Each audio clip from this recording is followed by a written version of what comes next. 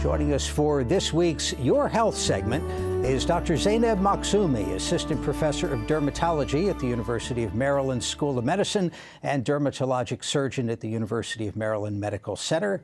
Doctor, welcome back. Thanks, Jeff. Thanks for having me back. Perfect timing. The summer solstice in two weeks. The sun's at its strongest in this part of the country. And from your perspective, I guess people aren't doing enough about that. That's right. That's right. The time is here. And um, unfortunately, every year we're seeing just an increase and increase in the incidence of both melanoma and non melanoma skin cancer. So. And we want to focus on the melanoma, which is by far the, the most serious type.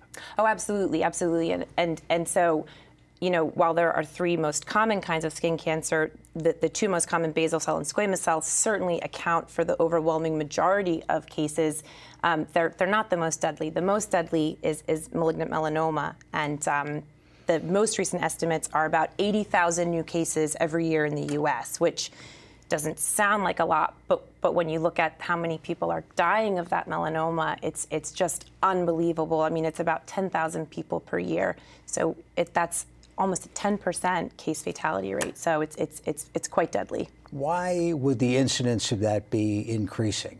I mean, as a, as a civilization, we probably used to be outdoors mm-hmm. more than we are today, and certainly it seems like people are aware you need to wear some sunscreen. Definitely, and the, and the good thing is, is, is, I think part of that could be increased detection. And so while we're looking out for it more, maybe you know you could be seeing a slight increase because of that. I, I think mostly the true increased incidence we're seeing is because a couple of things. One is genetic mutations that are directly responsible for melanoma. Now we're discovering that some genes are responsible for that.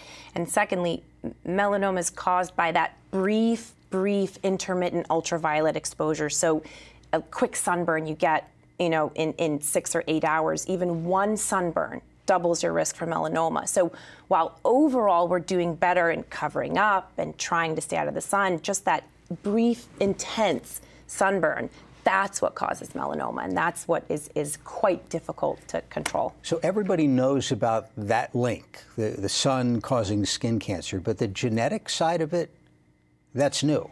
It is. It is, and and that's it is the new part. But I but I also think that's the exciting part. That's where you know it's it's been quite exciting to, to be a practicing dermatologist while they're discovering all these genetic mutations for melanoma. And one of the most common ones, the, the BRAF gene, um, in 2011, vemurafenib came out, um, was FDA approved for the. It's it's a BRAF inhibitor, and so it's it's you know we're finding these new genes involved in melanoma. But the exciting part is is we have targeted medications that can shut off that mutation that can shut down the melanoma, which are used with surgery to, to really, really have a chance at some of these more advanced cases. Okay, so uh, obviously it's a situation where you want to prevent it, uh, you also want to catch it early. Yeah. I have a couple of slides off of the uh, cancer website that Great. show some, some different things that can show up on your skin. And according to this website, all five of, of these lesions or bumps are described as moles. Uh, you looked at it and, and were a little concerned about one of them. I was. We looked at this together, and I, I think certainly the top three um, in my mind are, are certainly maybe atypical, but they would not warrant, you know, any red flags or alarms in my in my mind. I think the bottom one on the left has a little bit of concern to me. You know, we talk about the A, B, C, D, E of, of melanoma, and so for patients, I try to always counsel them um, to look for A is for asymmetry. So any mole that you can't slice down the middle and have it look the exact same on both sides. Anything, mirror image. Mirror anything right. that's not a mirror exactly not a mirror image is concerning. Anything with the the B is for border. So any mole with an irregular border. You know that, that brings us to the next slide, but uh, continue. Yeah, anything with an so this is yeah this hits sort of all the, those points for for melanoma. This has a very irregular border. You can see it's not nice and even. It's quite scalloped, so it's sort of ballooning out at the border. C is for color. So this has a lot of different colors in it. Benign moles should really have an even, soft, dark, light, whatever brown tinge to it, an even color. This has pinks and light browns and dark browns, even white in the middle. So irregular so, color. Somebody watching, if you've got one of those, you need to do something about it pronto. Yeah. pronto, yeah. double pronto. Yeah, absolutely. If you have, I, I, I mean, I, as you were saying right before we came on, I, I don't know of you know any dermatologist who would just say, you know, oh no, that looks great. Absolutely. Okay, so you got as far as color. And then D is diameter. So any any mole with a diameter greater than about six millimeters. So just for for um, size reference, that's about the size of a pencil eraser.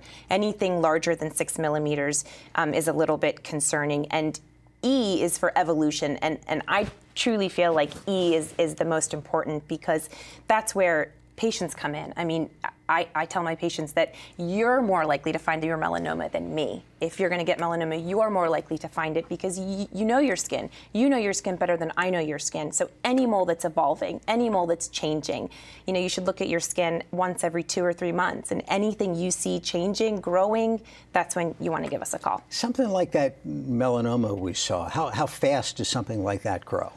Good question. Sometimes on the order of six months, sometimes, you know, a little bit longer. There's a subtype of melanoma called lentigo maligna. They're very slow growing. These types of melanomas typically grow over five, ten years. But usually, if you're going to see a change in a mole, it should be within about six to 12 months. Let me remind our viewers if you have a question about skin cancer or dermatology in general, give us a call. The number's up on the screen.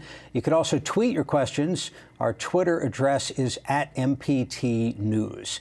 Let me ask, uh, ask a difficult question. So, we saw those, those five bumps which, uh, according to the website, reputable website, were all normal moles. So there's there's degrees of levels of concern that a trained doctor would have.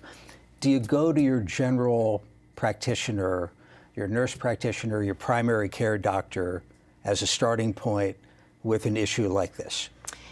Absolutely. I think that our primary care professionals, our primary care colleagues are truly on the front lines. And I think that they see way more skin than we, as the dermatologists and, and, and skin surgeons, do. And so I think that that's a fantastic place to start.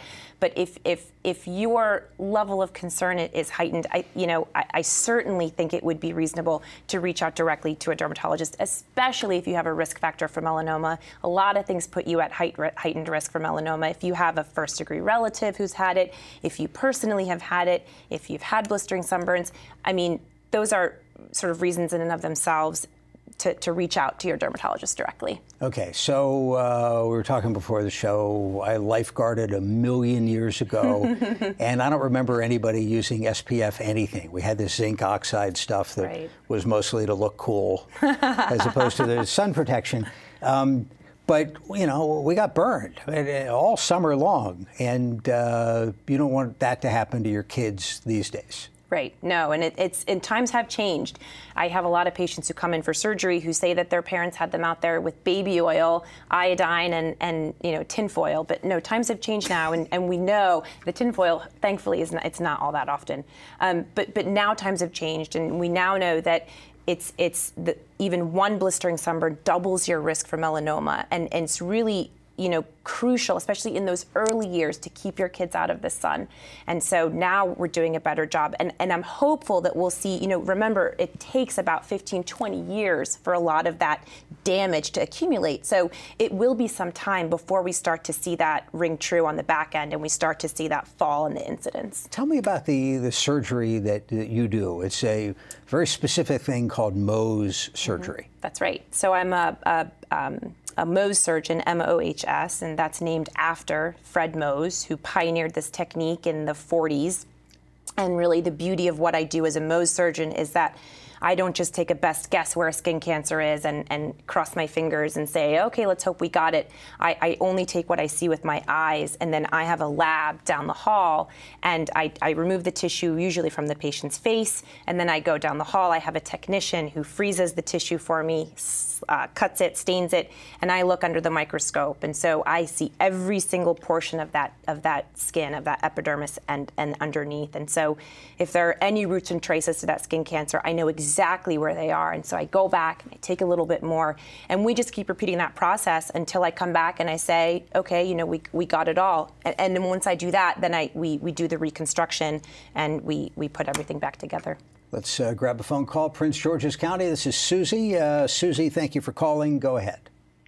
Hi. Hi. My question is, my question is I am a, um, a black female, light complexion, and I was diagnosed with a basal lesion on my um, pubic area, and it's been removed. But I'd like to know how did it? How did that happen? And should I be concerned? Um, you, you, you don't frequent the nudist colony, is what you're saying. No, no. okay. Susie, thank you very much for the phone call. We'll get you an answer on the air. Can, can you uh, get one of these without the sun hitting it? Absolutely. Absolutely, you can. And it's not just uh, it's not just ultraviolet radiation causing these these skin cancers. It's also sometimes with basal cells genetic mutations. There are some genes, in particular the patch gene, that are mutated in basal cell carcinoma, and so it's not necessary. I mean, certainly the overwhelming majority of basal cells are on the head, neck, arms, hands, but absolutely, I would say at least twice a year I do surgery in the genital regions for for a basal cell, and and and the the darker um, the darker uh, skin you are, the more heavily pigmented your skin is, the, lo- the lower your risk for skin cancer, but it's certainly not zero. So, if you have dark skin, um, do you still need to think about sunscreen and exams the same way? Definitely, definitely. And, and that goes back to especially if you're predisposed to, to skin cancer. I mean, if you've, as Susie said, you know, she's had one skin cancer. So, Susie, you are for the next year to two at increased risk for a second. So if you've had a history of skin cancer, you're at increased risk regardless of your Fitzpatrick skin type. So definitely. Um, Baltimore City, this is Tammy. Uh, Tammy, thanks for the call. Go ahead. Hi, how are you doing? Good. How are I you? Two, I'm okay. I have two questions actually. Sure. Okay, I have down around my ankle area and um, the lower heel of my foot, but not under the foot. They're like skin tags. I would. That's the closest thing I could analogy I could come up with, and they're all different shapes. And they get very dry, and like mm-hmm. even if they like itch, will like pop off or something, but they always come back. And the second part of my question is also on my lower extremities of my legs, and it's mostly on the outer part of my calves. Now, mind you, I used to swim every day when I was a kid. I was out in the sun. I'm over 50. I was told this could be hormonal, it could be from the sun, it you know anything. I have these um, these little I, I don't for lack of another word I'll call them lesions, but they're not really they're spots. Mm. Tammy, like, hold, let me. Uh... And they're all like oval type spots, and they're like mm. a very light tan, and they also get dry. So like yeah. when I exfoliate, they'll come off and they'll get dry, but they always come back. Tammy, thank you for calling. We'll get you an answer on the air. A little hard to play skin doctor when you can't see any of this. I know. It, from what she's Tammy's describing, it sounds actually, Tammy, like both of these spots are what we call seborrheic keratoses, and they're they're very benign. Is the good news. The bad news is they're they're very annoying and they're equally hard to, to get rid of. Moisturizing is is a, a, a nice way to kind of keep them from getting dry and itchy. Um, but you know the, the, the malignant potential, the chance of these becoming skin cancer is essentially zero. It's more just they're an annoyance and kind of tolerating it. Still might want to have somebody take a look at it. Definitely. Yeah. You know, we were talking before about vitamin D. Yes. So vitamin D is important for a lot of things, bone density, mm-hmm. and one of the ways we get it is it's made in the skin. Mm-hmm sunlight hits the skin and some version of photosynthesis or something, right. you, get, you, get, vitamin D. so if we're all staying indoors, are we all going to be vitamin D deficient? Right. Um, and that is something that's so um, sort of trending, for lack of a better word, right now because there are so many people walking around who are vitamin D deficient. And now it's, oh my gosh, have we gone overboard with staying out of the sun? And now we don't have vitamin D. And, and I think the, the consensus amongst, you know, from the American Academy of Dermatology and, you know, from dermatologists is that there, there you have plenty of, of sun exposure, even just on your hands for five minutes outside for the conversion of, you know, of vitamin D3 in order to absorb enough. And, and that's why we have supplements as well. And so I recommend all my patients to take a supplement of vitamin D. And if it's truly very critically low, then your physician can also sort of prescribe a higher dose of vitamin D. But it's not the, the, vitamin D deficiency, it's certainly not a prescription for us to sort of go out free range, carte blanche, go outside and, and get some get some rays in there. All right. So what do you tell somebody who likes to get some rays because they think it makes them the, the old uh, healthy glow? It's really tough. I think that that um, who was it, Coco Chanel or whoever it was that kind of started that bronzed goddess look. I think that we're sort of fighting that that stigma and trying to. I tell my patients that pale is really cool and it's really in right now. So you know, spray tans are great. I recommend spray tans to a lot of my patients if they absolutely have to have that that bronzed look.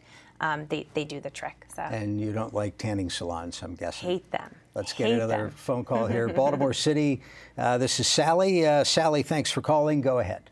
Uh, yes, this is a public health uh, question.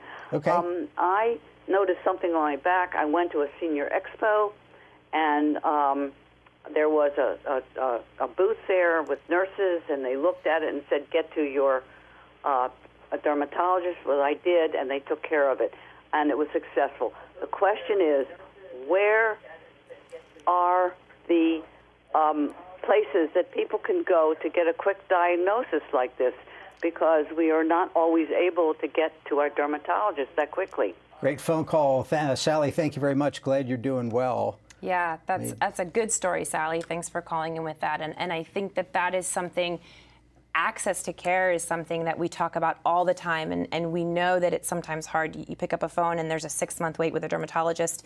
If there's not a free screening near you, um, what, what I would suggest is going through your primary care doctor and making sure you tell them, hey, listen, I have a mole that's really, really concerning.